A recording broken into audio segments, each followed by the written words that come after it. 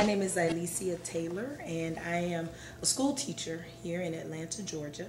I um, teach for Atlanta Public Schools, and I was very fortunate for the last two summers to uh, visit Ghana. And the first summer that I was there, I was able to um, spend some time teaching and researching and observing at the Youth Institute of Science and Technology.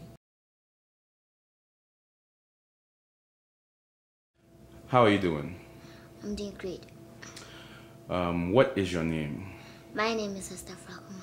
How old are you, Esther? I'm nine years old. Nine years old. Yeah. Where are you from? I'm from Agogwa Santechu in Ghana, In Ghana. What part of Ghana is that? Ashanti region. Okay, so you're Ashanti. Yeah, Uh, how long have you been in America? five days. Five days. Yeah. And uh, so far, how's your experience? Are you enjoying yourself? Yeah, but I don't, I don't like the food. You don't like the food? Yeah, like Hmm. What is your favorite meal? Oh, back in Ghana, Yes. plantain and contour stew.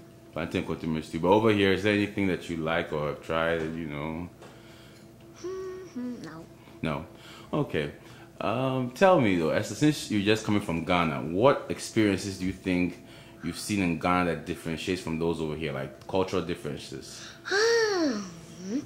Here in America, they eat everything with six spoons, forks, knives. But back to Ghana, we eat everything with our hands, which is good because when you eat with sticks, you must hold the sticks carefully because when it slips from your hands, you disgrace yourself. Hmm. So when you eat with your hands, you are very free. Like fufu. Do you like fufu? Yeah. Uh oh. Yeah. Mm, What soup? What's your favorite soup? Groundnut soup. Oh, that's what's up. That's what's up. Okay, now tell me, um, what do you think you can actually learn here that you'll be able to take back to Ghana and share with other children in Ghana? Okay. I came here to learn more about technology. So I will learn more about technology, go back to Ghana and share with my colleagues back in Ghana.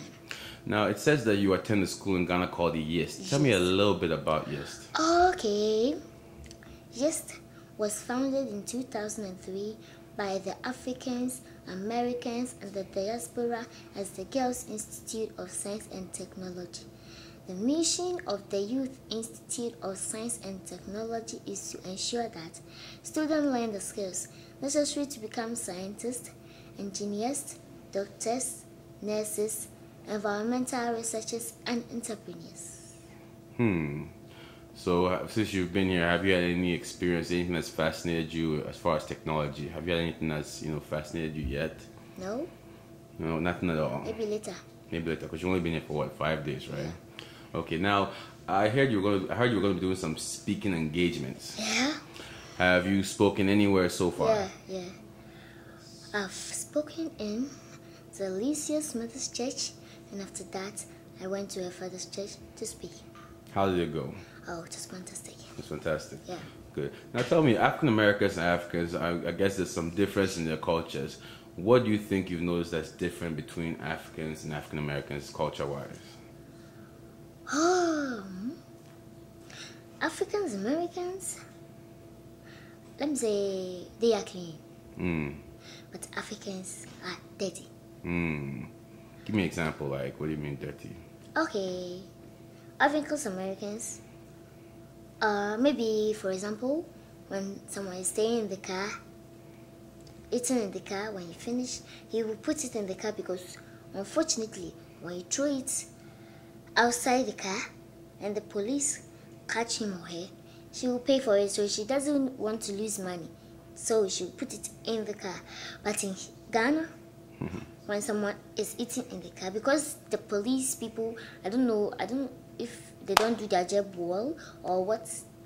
Even if police is standing here and my car is here, when I finish eating, I can throw the thing and to go and hit the police. The police can't say anything.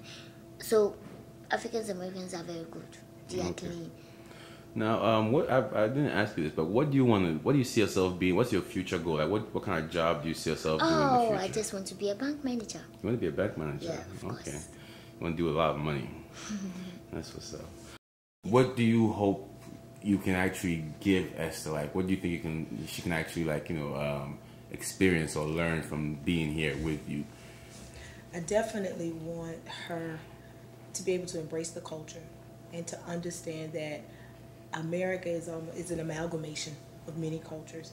In terms of the science and technology piece, which I understand is a part of the vision of the school, we want to expose her uh, more to opportunities in which she can engage with um, science initiatives and technological initiatives that are going on right here within our community.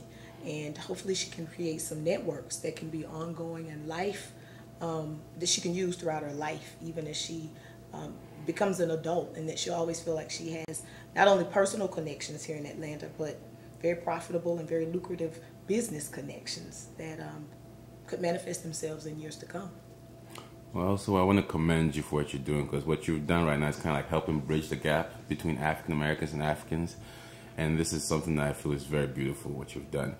So, Esther, you now are here with your new family and everything. I hope you have a wonderful time.